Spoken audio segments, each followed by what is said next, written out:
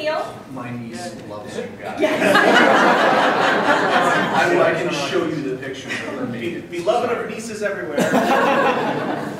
and a little show called The Guild. So if you guys would mind, join me in giving a round of applause to Paul and Storm.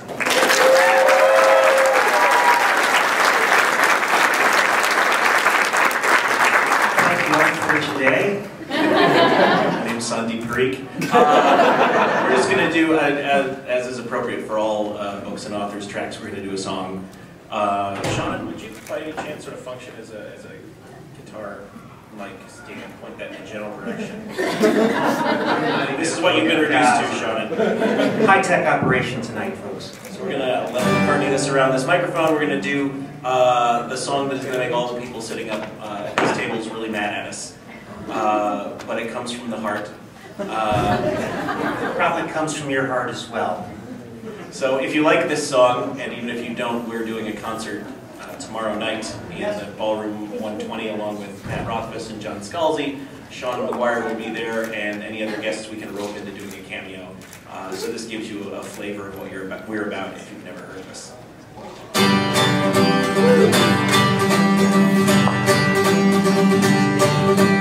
George R. R. Martin, please write and write faster. You're not going to get any younger, you know. Winter is coming, I'm growing impatient, and you still got two whole damn books left to go. So write, George, write like the wind. Yeah, it could be three at this point. I curse the day that my friend ever loaned me an old dog-eared paperback called Game of Thrones. How could I know that this seed would grow into an addiction that held me right down to my bones? Now five books later, I lurk with the masses, indignant, entitled, and waiting for word that the Great Bearded Glacier has finally published 900 more pages of crack for the nerds. Why does every new verse of your song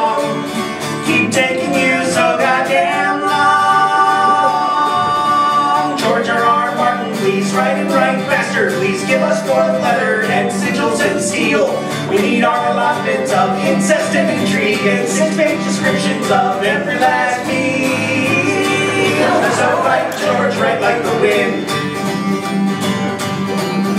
Lewis took five years to chronicle Narnia. Tolkien had 12 years and Rowling took 10. Lucas spent nearly three decades on Star Wars, and we all know how that one turned out in the end. You're not our bitch, and you're not a machine, and we don't mean to dictate how you spend your days. But please bear in mind, in the time that you've had, William Shakespeare churned out 35 friggin' plays. And if you keep writing so slow, you'll hold up the HBO show.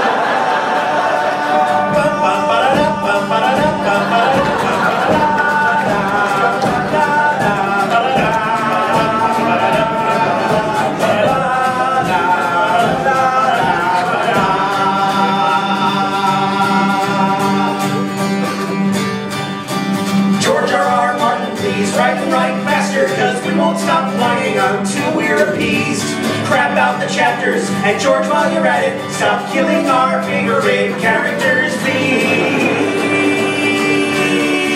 Is that right, George? Right. Like the. George R. R. Martin, please write and write faster. Die before you are dead, George. Please write like the wind.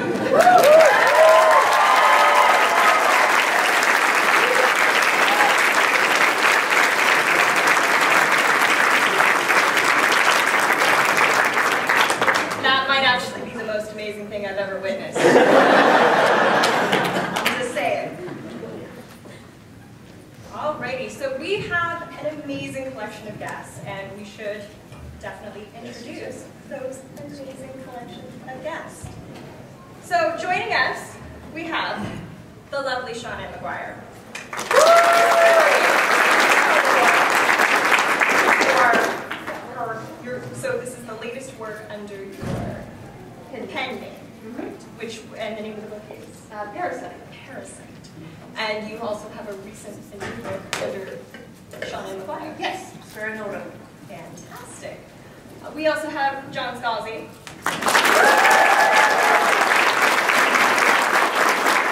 Hello, nerds.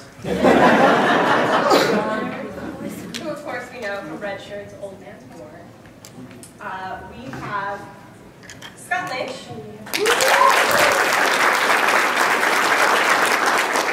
And the Gentleman Bastard Sequence, which I think is And um, a forthcoming book uh, called uh, The Doors of Stone. I, I'm just kidding. His whole work is what I meant to say all the time, Pat. Turns out, Pat. It's going to be one of those. We're starting. we first have Pierce Brown.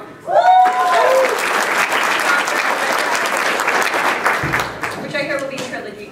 Yeah, everything's trilogy now. And and then the last book will be broken up into films.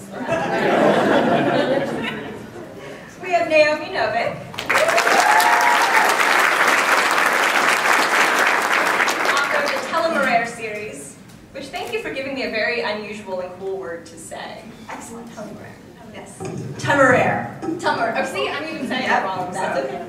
I've got to be pedantic. We have L.E. Modesitt. I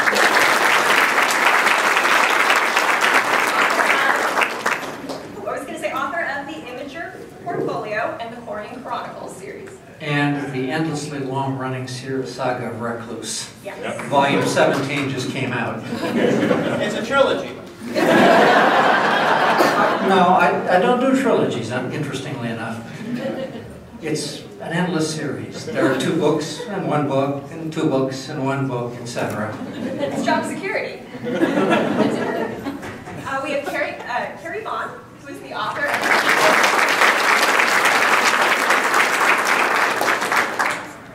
Voices of Dragons and Steel as well. Uh, and uh, um, Dreams of the Golden Age, a superhero novel, came out a few months ago. Very. And of course, the beard himself, Patrick Rothfuss.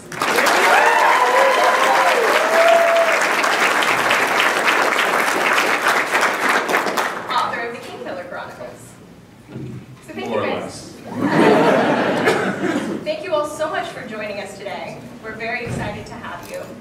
So I'd like to open this up and ask, how many of you is this your first Phoenix Comic Con, and how many are returning? we raising hands? You can go down the line, raise hands, just talk. That's what John does. What did I do? Reason we didn't let you sit at the table. I've got a tattoo that says born to lurk. Which he does superbly. I'll start then. Uh, this, I think, is either my fourth or fifth Phoenix Comic Con. I've really lost count. And I can't believe I come here every, you know, every year when it's 118,000 outside. Brave stuff in the streets. You know, it, it really is, it's amazing to me. It's like if you go and you left cake batter out and like We an have hour, cake! you have cake. A turkey, but you could make a cake. It's just, you know, you put yourself in olive oil, later on you're, you know, you're basic. It's all good. John, you've always loved the heat. You spent way too long thinking about this cooking thing. Oh, okay, first, All right, who's next? Come on, So guys. this is my very first one, and I'm, I'm one of those people who hates the, the usual hotel convention, convention center air conditioning. I, I freeze very, very quickly. You notice I'm wearing a sweater. You will see me in a sweater all weekend, and you'll think I'm crazy, but it's because air conditioning freezes. So I actually go outside, and you know, in hot climates, it's really nice. I go outside, oh, you know, I'm finally warm for the first time all day. Except I've noticed here, I go out and I have about two seconds of that nice, oh, it's warm. No, I'm done. I'm going back inside. That never happens to me. Well, it's my first, um, but certainly not my first time in Phoenix. And uh, I liked the air conditioning. And it's my first as well. Um, and I have to say, I just, I'm looking with astonishment at all the cosplayers. When they go outside, you sort of wonder, it feels like you, there should be a betting pool going on, like who's going to keel over. Uh, I actually used to live in Phoenix when I was a kid, so I've healed over a few times here. Um, but it's my first Comic Con, actually my second Comic Con overall, and my first one in Phoenix, obviously. So I'm a newbie, so treat me nicely, please. Uh, this is my first Phoenix Comic Con, and does this microphone work? Uh, this is my first Phoenix. Okay, there we go. Hello. Um, this is my first Phoenix Comic Con and my first time properly in Phoenix. I've been through Sky Harbor before, but that does not count. And uh, I'm, I'm from Minnesota, Wisconsin. Um, I, I make a snarky joke about the weather here, but it's humidity and mosquitoes carrying away small children up north, or you know, lead melting on the sidewalk down here. So take your pick. Having been in Minnesota, I think I'd even pick Phoenix. Some days, yes. Some days, yes. I'm from the San Francisco Bay Area. It's been 80 degrees for the last three years. Y'all are nuts. Yeah, I, uh, I'm with Scott. We kind of come from the same clime, and actually, I kind of like this weather, as opposed to like you step outside and it suddenly feels like you've been wrapped in a hot towel. Um, but that said, I, I'm certainly not taking any long hikes here. Uh, my first Phoenix Comic Con, I heard actually from John. John sold me on it. He says, he says, if you're not coming, then you're a chump because they really like their authors here and it's great to be an author at Phoenix. It really is. I mean, one of the things that really surprised me, because Comic Cons have finally figured out, hey, people write things with words, and maybe the people who come to these things might actually occasionally read them and want to meet people. I know, it's a shock, right? but, uh, but strangely enough, uh, Phoenix has been up on this one for, for a long time now, which, which makes me really happy. It's, it's like, I think this is the largest concentration of, of science fiction and fantasy writers outside of an actual like world con, which is, you know, where all, where the Hugos go, and so is kind of nerd concentrate. Um, so just the fact that it has so many actual writers here is actually very, very cool. And especially like these ones, not him. Doesn't he look like a shampoo commercial? It really John stays up at night dreaming. Look at Chan- dreaming of his chances to get me to do this on panels.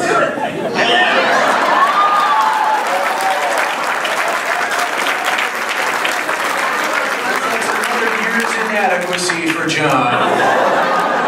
I'm not bitter at all. aerodynamic, humanly wise. I hope someone was filming that because I want to see that turned into an animated GIF before the end. It's a really cool Catfail cosplay. I just, you know, the, uh, uh, Robert Silverberg uh, at one point said uh, that uh, one of the tr- things that people don't know is there's an actual uh, uh, priesthood called the Scalzies. There's the discussed uh, uh, brothers, and uh, he always like, and there's John Scalzi cosplay. It's very sad. I lost my hair at 22. I- I but at least I'm not Phil Plait. Phil? Wow. Phil's, Phil's here somewhere. Oh, he writes nonfiction. I have a follow-up question for uh, any or all of the authors. Uh, uh, uh, Scalzi alluded to it. What is the scientific term for a collection of sci-fi and fantasy authors? And or uh, is there a different term for fi- fantasy authors? A shirking. A procrastination. Procrastination is also. It's a trilogy, right? Trilogy of fantasy authors. We are a trilogy of fantasy. Except that it's never just three. Well, it fails and the trilogy is. It's either many more than three or only two.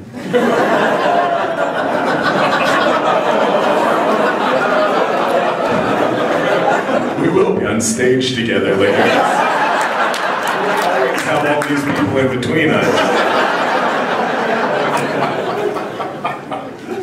You hope. I'll be taking bets on how many walk away back of the room.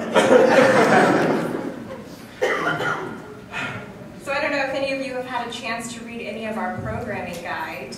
I know that you are on quite a few panels yourselves. So far, what has been your favorite title for a panel you're either on or have heard of? I, I can I can do this one off the cuff. It's the epic fantasy versus urban fantasy, where there is only one epic fantasy person on the panel.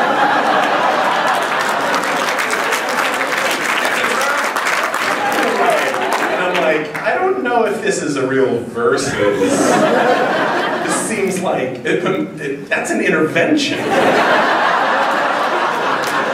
Patrick, have you counted the number of words on either side? I did kind of want to get one of those balance arm scales and take like ev- the first of everyone's you know urban fantasy series and try to see if at least it balanced that way. But I don't know. Patrick, I remember uh, meeting your work for the first time because I was on tour and you left me a copy of your book. and then I go, I'm at uh, Uncle Hugo's in Minneapolis and they say, uh, an author has left a book for you, so if you want it, you know, okay. And I was like, all right. And he comes over, he's like, all right. and I'm like, what the hell do I do with this? Because I'm on tour, I've packed really light, right? Everything in a carry-on. And here's this thing that can literally stun a yak. what am I going to do with this? And so I'm like, I have to carry it around in my hand. So one is like, well played, Patrick. but the other thing is, is like, because he, he signed it, and on the inside it's like, Mr. Scalzi, I'm a big fan, and I hope that maybe you like. It's like, fuck, it's like a puppy. I can't.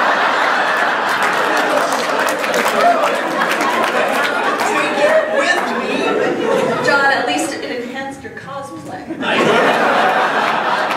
Yeah, I was in England, Pat, when, when Gollancz did that to me back when Name of the Wind was new and it was only in trade paperback. They're like, "Hmm, there's this book you should bring with you. We think it's cool. A book. I'm getting on a plane, they're like, you can just sit on it. What they do is they come Well, over. wait a Could you could you put that uh, on the other side of the plane? We got to balance out the plane. Well, no, Patrick's got this shtick because I met him for the first time at a Romantic Times convention. and he was sitting next to me and he says, Oh, I love your work so much. Funk. Patrick, I how think many people must have have you done this. funked? To, I think I think he must have done this to every author he can get his hands on. I thought what we had was special, Pat. Honestly, I've, I've never read any of your books. I think it's better to get this finally off my shoulders. I would like to imagine actually that. publisher that you said. I'd like to imagine everyone just keeps leaving the same copy. for each of you. It's kind of- Patrick, the name of the wind is like the fruitcake of books.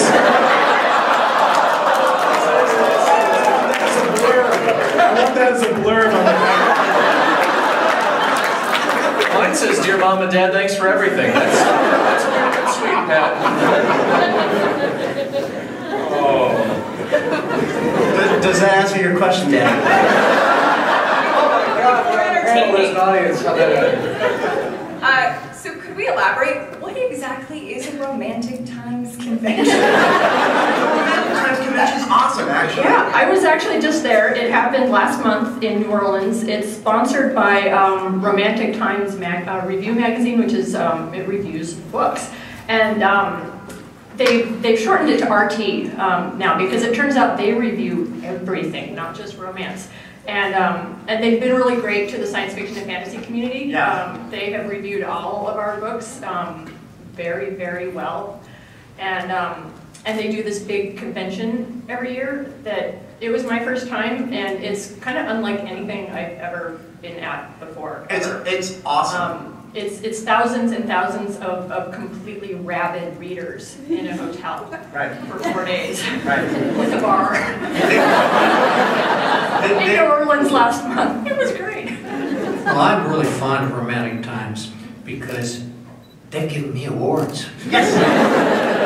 And their And the science fiction community never has. and their award ceremony is awesome. One because they tell you who's won in advance, so when you go, you know you're getting something, right?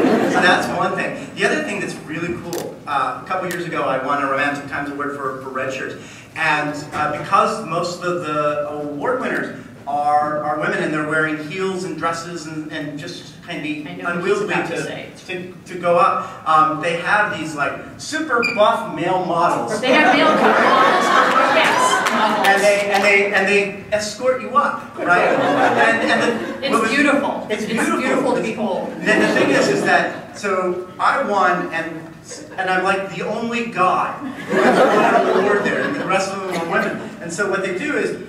The person who wins gets walked up. The next person comes to the ramp to be, you know, so they're they've got a system. And so the uh, person, the woman in front of me gets walked up to do her thing, and I come and I stand right there to be going. And the male models are looking at me like, what do we do with that?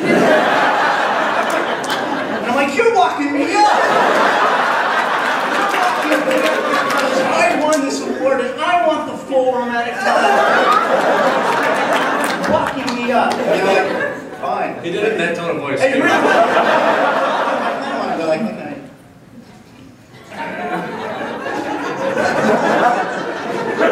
And so, you know, I get named, and then, you know, one comes to walk me up, and the other one comes and gets me. They're like carrying me, my feet are kind of like. This is the best award ceremony ever. So basically what you're saying is we need to get male models. Yes. We are putting that into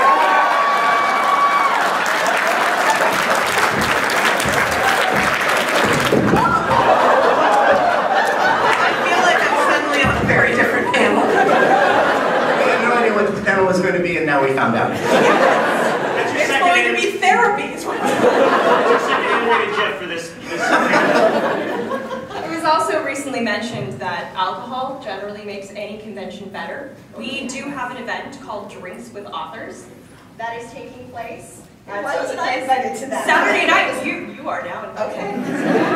Um, what could one potentially expect from something called Drinks with Authors? do you believe? Drunk authors? I'm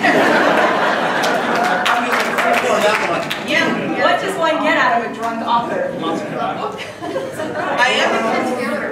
I don't think there's much difference between John Soper and otherwise.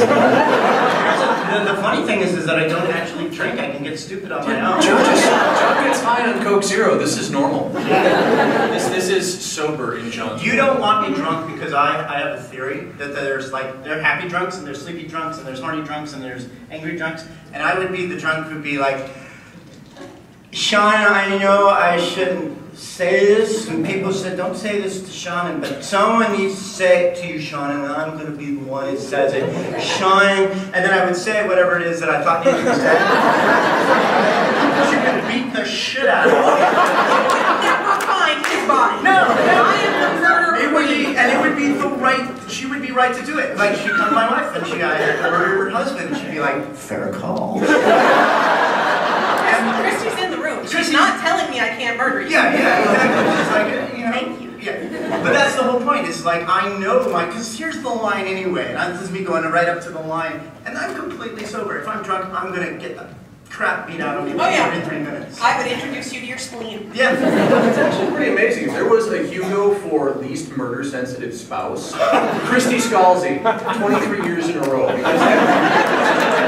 a weird thing. I mean, you know, when people walk into the room, we say, hi, John, we talk about murdering him or harming him. It's just a recurring thing around here. You know, and part of the reason that I'm comfortable with it is that Chrissy would kick the shit out of Well, me. you see the calculations behind her eyes. Yeah, no, she's You know, it is not yet time. She's when our daughter was born. Um, and it was amazing because just the switch from uh, into Mama Bear. Like if anybody ever did anything with her child, she would be like, "Boom, here's your heart." Down they would go, and it wouldn't matter who they were. It's just like she and she would find them, and she would like see, you know, you, and she would make sure that they saw her coming from a long way, so that they would have time to think about what they had done before she got there. It's like, and she, goes, you're gonna die now. yeah, yeah, I know. Whereas my mother had me come home at six and inform her that I had found my career, and she's like, really? Where'd you find it? I found it in a book. What's the book called, honey? Village of the Damned. and, and that's about the point where mom just accepted that one day she'd be viewing me from the front row of the electric chair room. it's, it's coming. So anyway, that's why I don't drink. I was at an event once and um, drinking, and I looked up at one point and noticed there was a chair of people uh, just watching me because apparently I am an amusing drunk. I, I am an entertaining drunk. Um, show tunes have been involved, um, which, which is, you know, everyone's happy I'm drunk and everyone gets to hear show tunes. So- I think it's great. So what we're saying is two martinis and then it's let it go? Oh, you know, I, I've only seen it once, so I don't, I have to hear it a couple more times before I have that one. But I do West Side Story, I do Guys and Dolls, um, Into the Woods. Man La Mancha? I can, so, yeah, yeah, three. I do a good Sancho. You're I gonna have want to trouble be in an author AP of English drinks. or singing Dream the Impossible Dream. We had been reading Tennyson and he's got one of these poems that's like, oh, you know, to the Ulysses, you know, see- seeking, sailing beyond, and I just, from the back of the classroom, just started singing this. And the teacher took me aside after, this was not the first time I had sung in English, in English class. Did you know you can't sing every Emily Dickinson poem to the tune of Yellow Rose of Texas? I, I pointed this out in English, and the teacher finally took me aside and said, no more singing, Carrie. Yeah, I didn't like that teacher at all. I will say, um, actually, I'm with John. I don't drink, generally speaking. That's because I've got about four inhibitions and they're all working real hard. they're really important. And, uh, but that said, somebody gave me like a stone bottle of Danish mead at my signing last night. And, and it's sort of like the book thing where it's like, ah, this, he like brought this from Daneland or wherever.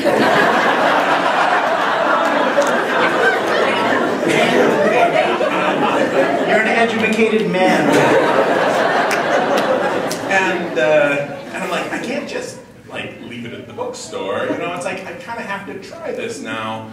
Uh, but you know, the other thing is like I will sing without the influence of drink. So uh, that's probably what you'll see is me with this stone bottle of, of Viking mead, sharing it around with people and having a rare a rare drink. I can't tell you what's going to happen. What actually, Pat, uh, you, you bring up what I think is a really interesting topic, which is the whole thing of people like giving you stuff where, when you're on tour and you're like, what do I do with this? I carved every character in your book from driftwood I've been collecting for 16 years. we, we love this, but you, you used a Jeep to get it here. Right, whereas we're on a plane and the next Yeah. day. The thing that I had recently, because was people started bringing me buttercream frosting. Uh, because, oh no, I made I made this joke when I got up to I was coming on 30,000 Twitter followers that if I got to 30,000 Twitter followers I would strip naked and cover myself in buttercream frosting. And I didn't really think of it, ha ha ha ha, it's a joke. And fucking Neil Gaiman retweeted it.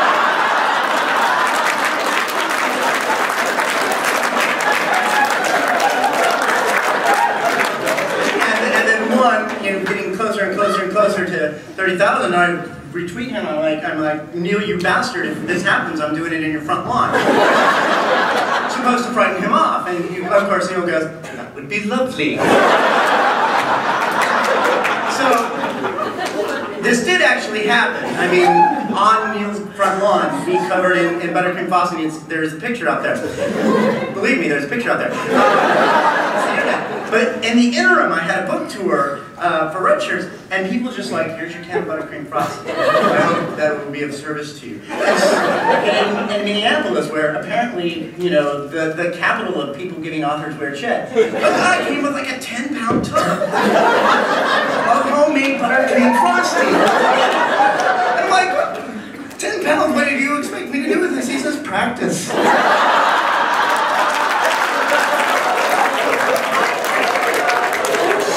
Cupcakes. I have a thing for baked goods. It's not a secret. So people are like, Seanan's coming, I'll bring her cupcakes. I also have a phobia of pudding.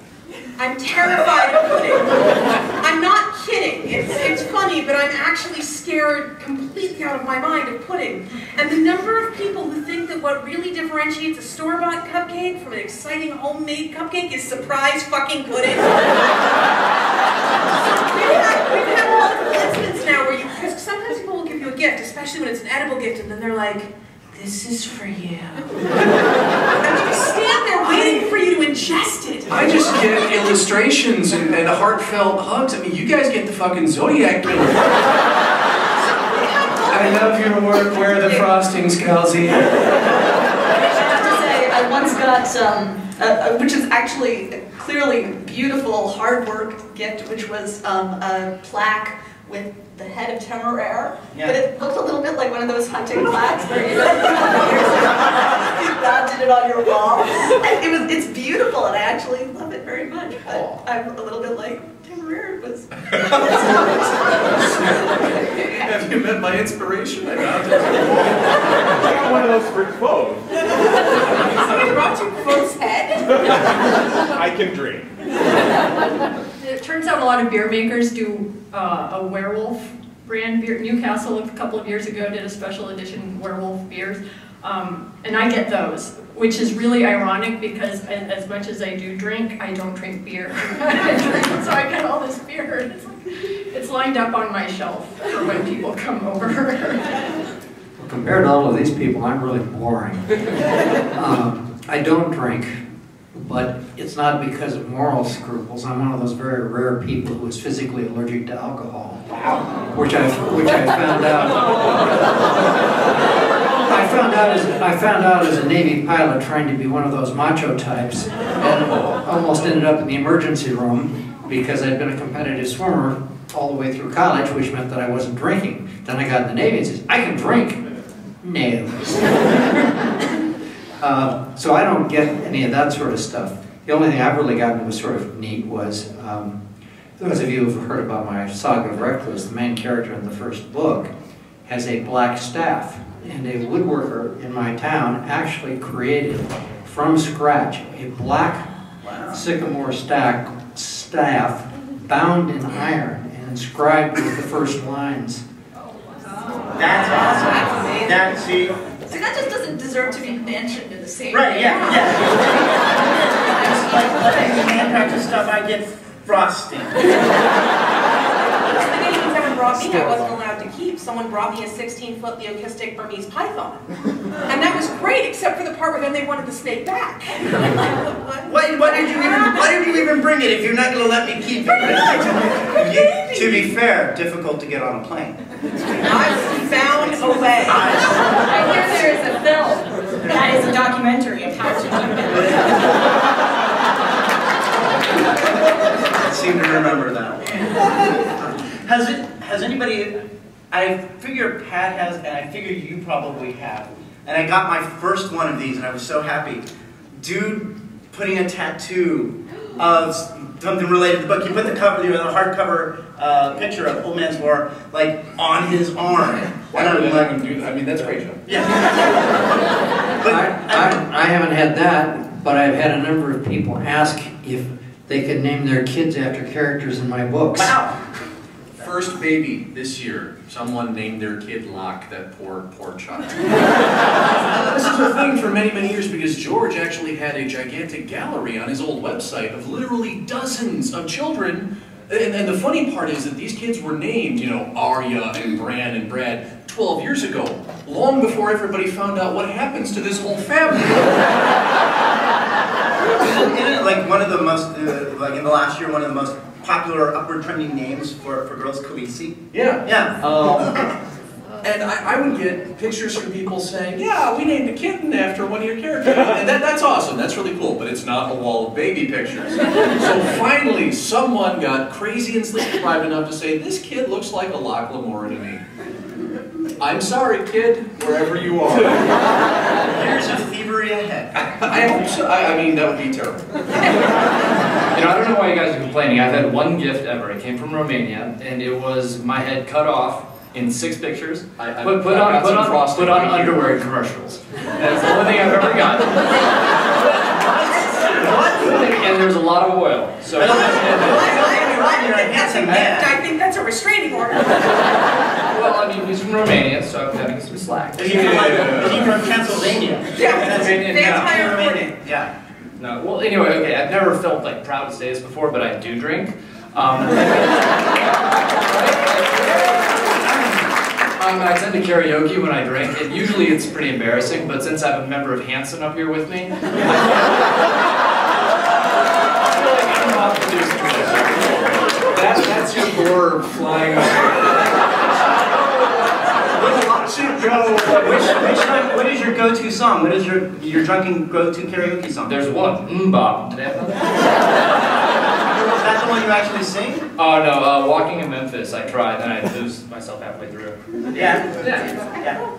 Or Backstreet Boys. Any, anybody else? What's your your drunken karaoke song? I'm, I'm looking Well, at I you, Andy. actually now could do Let It Go because my, I have a three and a half year old. Oh, of course, yeah. Her version of it just seems to be Let It Go, Let It Go, Let It Go. Well, So, you know, I can do that. since I don't do drunken, but I also don't do singing, I sing so badly that when I tried to sing my youngest daughter lullabies many years ago, she cried. I could hum, but she wouldn't let me sing. Now, it may be that she grew up to be a musician and I was just not up to her standards, but I mostly do when you're good to mama. It gets me lots of drinks at the karaoke bar down the street. There you go. The first night I was ever drunk in my entire life, I blame the publishing industry. I didn't get drunk until I was 26. It was the party to celebrate the sale of my first novel. Um, and it was the party to propose to my now ex-wife. So the first night I got drunk, in my entire life I proposed to my now ex-wife. So that's my drunk story. and that's why you never want to be drunk again. We, we got better. I don't know how anybody I'm still a little bewildered, to be honest. Do you actually want that drug story topped? Okay, right now. So I, I did not finish my college degree initially. I ran out of money. And my professors were very sorry, so they opened a tab for me and my friends at the local bar, which is called Spats. The last thing I remember of that night was taking on a scorpion for two by myself. That's a rum punch that comes in a punch bowl. I was drinking it with both hands, and then I passed out. Which is when Cindy and Angel decided they were going to win the prank war that we had had going for the previous six years, took me, Alric, and Dominic and loaded us into the back of Cindy's truck and drove us down to the train yard. Loaded us into the back of a train bound for Portland. Figured we'd wake up when the train started to move. Spoiler alert, no. So we woke up as we were pulling out of Portland. Shoes, Dominic has no ID, Alric has no pants. Dominic does have a bottle of vodka. We decide that clearly the answer to our situation is to drink the bottle of vodka. Because when we wake up, we'll be back in the Bay Area. It turns out trains don't work that way. So the train keeps going. And we wake up again when we hit our final destination. And we are now, you know, three seriously drunk, hungover, vaguely alcohol poisoned college students with a big bottle of vodka. So we get off the train and we're like, where? Why is that sign in French?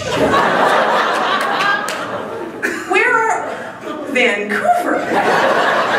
So we've now illegally entered Canada while underage, while drunk. I do not have pictures. I am very sorry. This was before the era of the easy access cellular phone. But if you get a Vancouver phone book, you can find that Kwong's hot air balloons is still in operation. Because none of us had passports. But Alric's uncle had a hot air balloon business that specialized in in-air weddings. So you could get married on the border between Canada and the United States. So he loaded us into a hot air balloon. oh, no, you had me open to the higher. I know. I'm aware, but it's there. You can look it up. I can call Alric. We can ask him. He'll probably tell me to do things that are physiologically improbable because he hates it when I tell this story. He's a lawyer now. And then once we got back to the United States, we got to call our parents. That was great. So, Tuesday. Tuesday, yeah, pretty much. That's my drug story, Scott.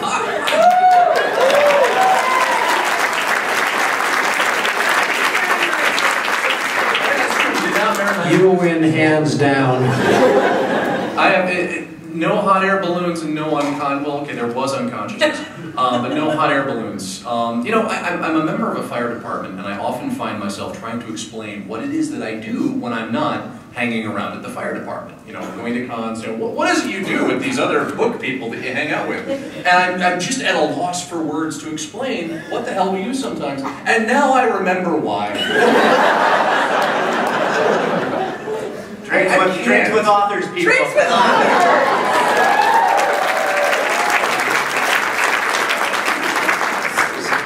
All right, so you've all mentioned the crazy things that fans have given you or done for you. What's the craziest thing you've ever done to another author?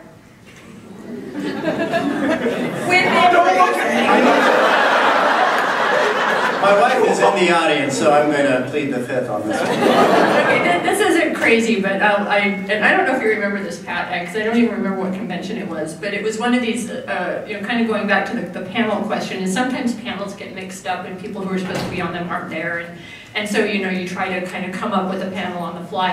I, I was on a panel um, with Brandon Sanderson, and we had lost like half our panelists. And, and Brandon says, "I'm going to get Pat here," and and he sends a text. And I'm sitting there kind of in awe because I have just watched Brandon Sanderson cast Summon Pat Rothfuss. and, and 10 minutes later, there's Pat walking through the door up to the panel. And I'm like, this is the awesomest thing I've ever seen. Summon Pat Rothfuss. Brandon Sanderson can do it, guys. Um, Pat, you're a retiring type. I'm sure you don't have any stories. yeah, well, okay. Uh, okay. Yeah, okay. Yeah, and you're, you're getting the phone ready so you can record this, right? this is a story I've been thinking about telling on the blog for a while, and I haven't. Because, you know, I, I certainly, oh yeah, not everyone's to actually record it. The, uh, I, I certainly don't try to come off as a suave, sophisticated person by any means, but still, there's a, a level of geeky fandom that I try to keep restrained. We all have at least one or two people that we are like profound geeks for. It's, it's true with everybody. Sure. And for me, it's gaming. And it was fine while I was a reader because you can be a big geeky fan of somebody and it's cool. And then I got published, but I was like, I was still nobody, so it was still okay. And then I was kind of more published and we would run into each other and then suddenly we're kind of colleagues. And then it's weird to be a big geeky fan of somebody, but in the rare instances when we come together, I take 80% of my brain and devote it to not freaking out. and so I look like I've been pithed, but I don't embarrass myself in front of him, right? and that's the important thing. Uh, and the one year he did a 10 year anniversary of uh, the release of American Gods at House on the Rock. And that's in Wisconsin, and I live in Wisconsin. And of course, I'm kind of stalking Gaiman, so of course I find out about this event. As we all are. And, uh, and so I'm like, that's cool. I, I, I'm like, let's go. So I sign up, I get on a few panels, and I'm thinking, you know, I'm going to get to see Neil Gaiman at this thing, and I get to go to House on the Rock. And I go, I have a good time, I'm relaxing, I've just been through deadline hell, so I'm kind of a mess mentally. And I run through in my head, what will I do if I'm actually going to get to talk to him? Because you script those things, right? You know what I'm talking about? You're like, what would I say? Oh God, no, these are the things I can't say. This is, you know, and you kind of come up with contingency plans. And so I'm, I'm prepped as much as I can be. And the first night goes by and I watch him do some stuff and it's fine. And then we go to the hotel and they have a breakfast buffet. I wake up, I, I'm just going to talk for 15 minutes. I'll never meet Damon in this story because of all of the videos. We're going to the breakfast buffet. I'm not a morning person. Go out, and somebody comes up on my blind side with their hand out. And Gaiman and our, our readerships overlap, so people have been introducing themselves as Whale Khan. And so I, I turn around and I'm like, hey, and halfway through shaking the hand, it's Gaiman. and this is like four years ago, just for some temporal context. I've actually have gotten to know Gaiman better, and I'm marginally okay with it now. but he comes up and he's like, I didn't know you were going to be here, and I'm doing a signing in your panel. And I'm like, there's nothing that I can say that you don't already know. And because it's come out of nowhere and I'm not ready for it, I'm just like a regular person, and he's a regular person, which, by the way, is the good way to handle it. Just, you know, Yeah, just be people. It's, it's cool. Don't worry about it.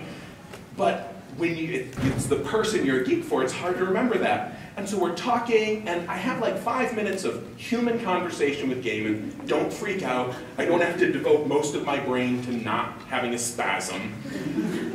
And then his assistant kind of says, as you're holding up the buffet line. So we turn, and in the act of picking up my plate, and it frees up enough of my brain to go, Neil Gaiman's right there, right there. And so I start to have a huge, huge freak out about how I am loading my plate at the buffet. I mean, like a real legitimate, like paralyzing fear freak out. Like, and I'm like, and I'm like, is this a really fucked up amount of scrambled egg to get? Is this, is this a really abnormal amount of scrambled egg? Is, do I get three sausages? Is that like a gross number of sausages? What is Gaiman gonna think of me? So I, I tough it out, right? I make it through the line with him behind me. And all the time I'm like, you're crazy, Rob. This Gaiman doesn't care how much scrambled egg. But at the same time, I walk back feeling dumb and crushed and like, like, oh, like he was gonna go back to his table and tell his friends. Like, I just ran into Patrick Rothfuss. Dude is a freak for scrambled egg. There's my shameful geek story. It might be the wrong place to, to say this, but uh, I was over at Neil's house not too long ago. I came across I came across his scrambled egg diary.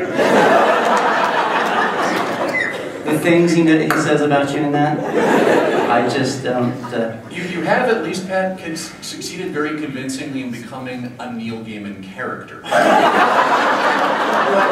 Because the, the narration you just gave us is right out of a Neil Gaiman. Uh, the, the story that, that I have is uh, my very first novel signing is at Boscone in 2005. And the thing that they like to do is that you have your signing session with another writer.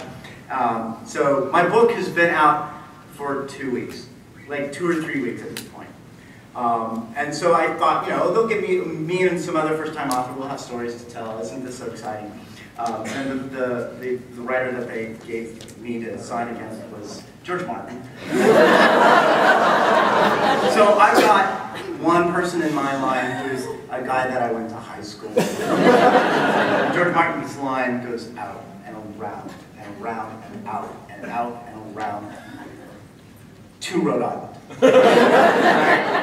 and so, but I'm being introduced to him for the very first time, and I'm like, George Martin, I'm so glad to meet you. I love your books. Because one time in my office, there was a spider that was as big as my hand. And, and I didn't want to try to touch it, so I picked up this book of yours. It worked like a charm.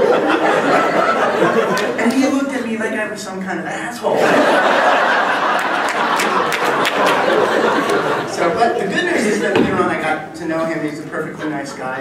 And, uh, and He then- holds, grudges for like 16, 17 years. and the, the, the nice thing is, is that at the 2011 uh, Worldcon, he had a, he married his longtime uh, uh, a partner Parris, and so he had a, a wedding reception, and he invited me to it. And it was only after I was leaving in the cab, I was like, oh shit, that was a, a George Martin wedding.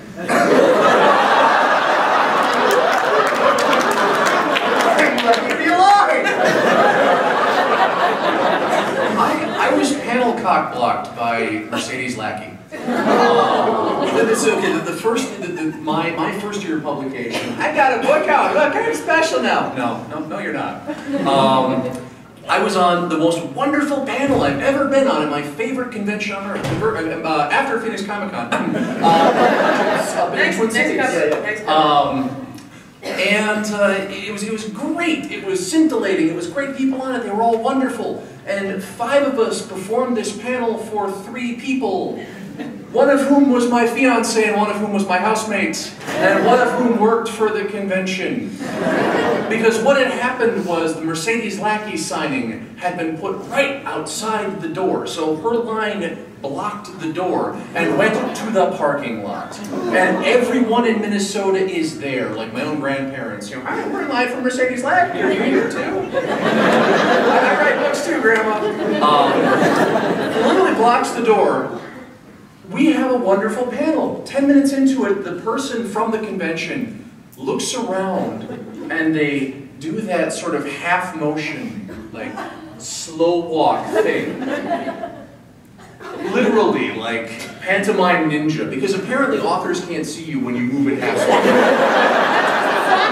and, and they take like two minutes to like Pink Panther their way out the door through the Mercedes Lackey sign. And it's like, we, we can see you, you are visible.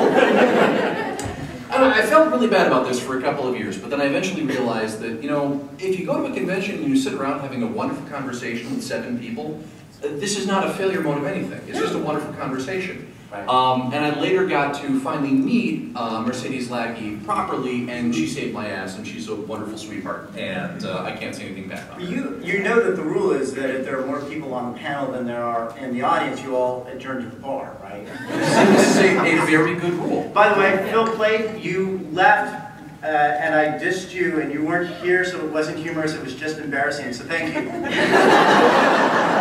Screw you, Scott. And, and thus is balance restored. Thank you. And, and just to backtrack a tiny little bit, because I have to tell, um, these things move in cycles, and I don't know if you've heard George tell the story of one of his early signings, where he was signing against Stephen King. And this was before Game of Thrones, this was before any of that, so, you know, he was like the rest of us, kind of, you know, the journeyman, workman, science fiction, fantasy author, and he's doing the signing with Stephen King, and he has zero people in his line at that point. point, and Stephen King's got the line going out and around, and apparently some kind person um, at running this signing thought it would be um, generous to, to maybe walk up and down the line and make sure there was nobody in the Stephen King line who really wanted to sign for George. And so this person walked up and down saying, no, no line for George R. R. Martin, no line, no waiting for George, and just, yeah, so, so that's the story that George tells Oh, he actually, he actually had a signing with minus people.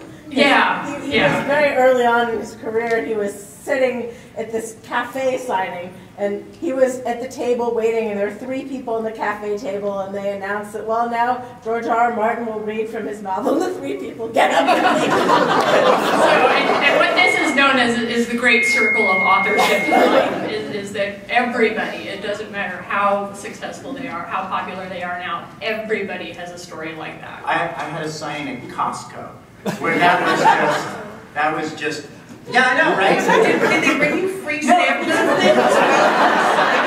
And here's 10 pounds of cream frost.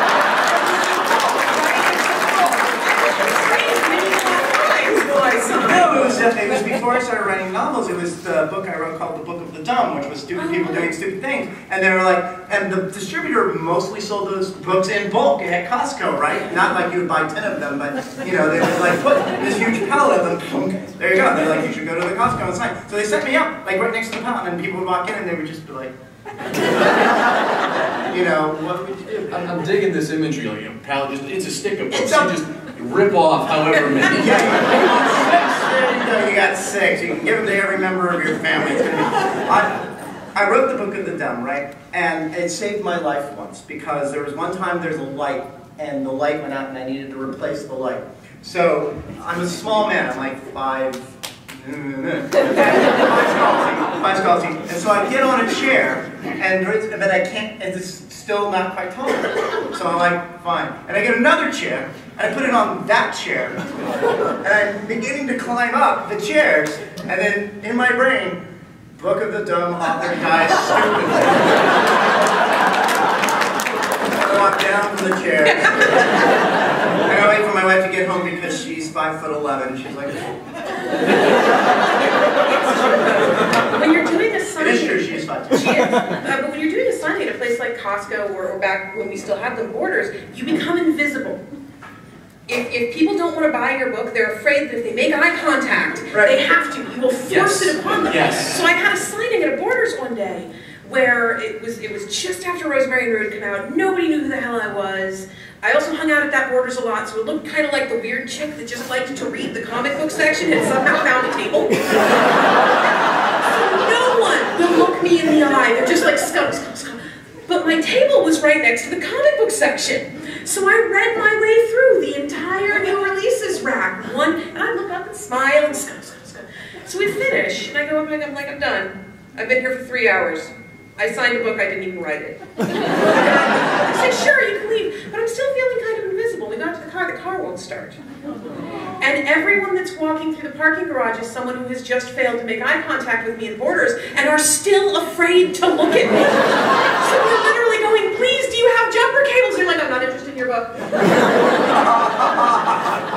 we, we had to go and flag down a trucker. So clearly, the solution to this is to actually, when they come up to the to the actual uh, checkout, they go, "Oh, you know, the author left a book signed for you." that's, that's how you, that's how you sell all those books. Dear Bob, dear Jane, dear Sue. Dear I'm, I'm really admirer of the way that you uh, do that accounting thing you do. Thanks for not making eye contact. The military is trying to harness this technology for stealth, you Yeah. know? Like author desperation. They're just desperation. going to scrap first-time authors to all their jets. Oh, they're shooting at us, but at least they didn't try to sell us a book. well, that's just a Sidewinder missile, not the first book in a trilogy. We're going to talk about missiles. I'll throw in my little story about being upstage. I just, it'd been a couple of years after the first Recluce book came out, and I was doing a signing in conjunction with the World Fantasy Convention in London. And I was signing with somebody else. I'd never heard of this lady before. Her name was J.V. Jones, otherwise known as Julie Jones. Now, Julie's not too active these days, but Julie Jones, especially then, looked like the movie star's movie star blonde bombshell. She was absolutely gorgeous. And I'm sitting next to her on this forbidden planet, and people come up. I get a quick glance, and everybody goes to Julie's table. and they keep going to Julie's table. And they keep going to Julie's table. And occasionally somebody comes up, and finally this well-dressed fellow comes up and says, I really like all your books. And I say, would you like me to sign one for you? And he says, no, I don't care for you, I just like your books.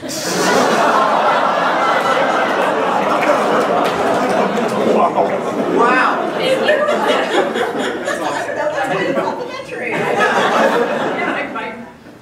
Thank you. I never want to see you again. When is the next book out?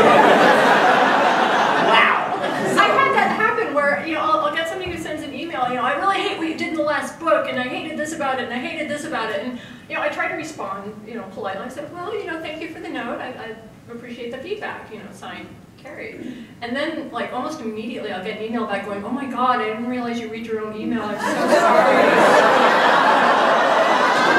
I'm, I'm so confused. Not all, not all of us have assistants, so yeah, exactly. Well, I have to tell another story along those lines. I wrote a book series called The Soprano Sorceress. And it's a three and it's a three book followed by two books that take place 30 years later about the main character in the first book's foster daughter. And in the fourth book, second one, Anna, who was the character in the first one, dies of old age.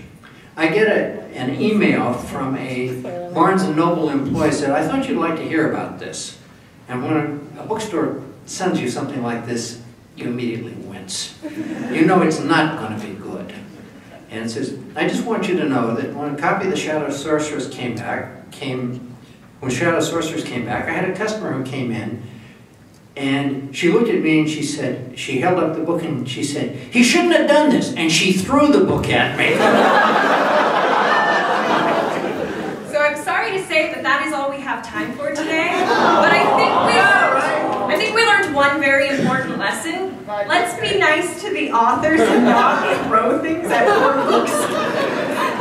So, and when's Drinks with Authors? Drinks with Authors is Saturday, they're better, they're better prepared than Yeah, Saturday night. You can arrange a hot air balloon by Saturday, so. Okay, so we don't have a train, but we do have a light rail. So it could be a thing potentially. I don't blackout drink anymore. All right, how about everybody joining me in a round of applause for us?